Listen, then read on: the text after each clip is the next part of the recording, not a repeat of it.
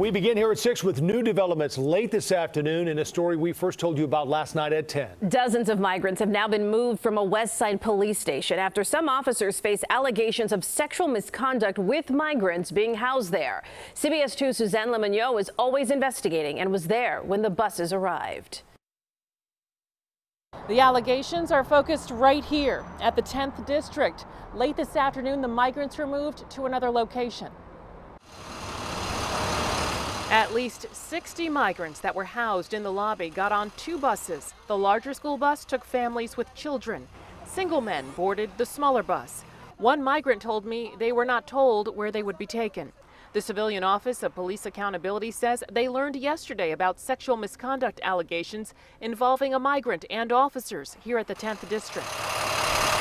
Sources also say a teenage migrant is now pregnant from an encounter with an officer. Chicago police have not confirmed this. They issued a statement saying these allegations are under investigation with CPD's Bureau of Internal Affairs and the Civilian Office of Police Accountability. It is, at the very least, unprofessional for a police officer to have sexual contact with a migrant. Dr. Arthur Lurigio is a professor of psychology and criminology at Loyola University, Chicago with an underage migrant, that behavior has been elevated to criminal behavior.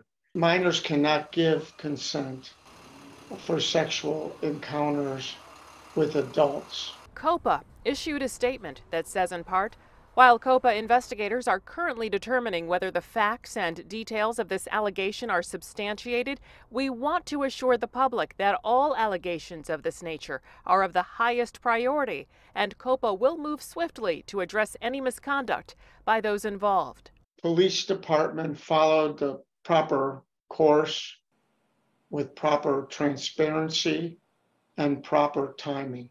CPD is also telling us they are aware of other allegations involving sexual misconduct, and they are under investigation by Internal Affairs and COPA.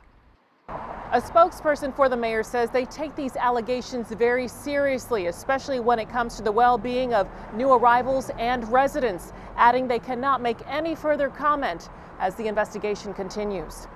At the 10th District in North Lawndale, Suzanne Le Mignot, CBS 2 News. And just within the last few minutes, the mayor's office did release a statement calling the allegations deeply troubling.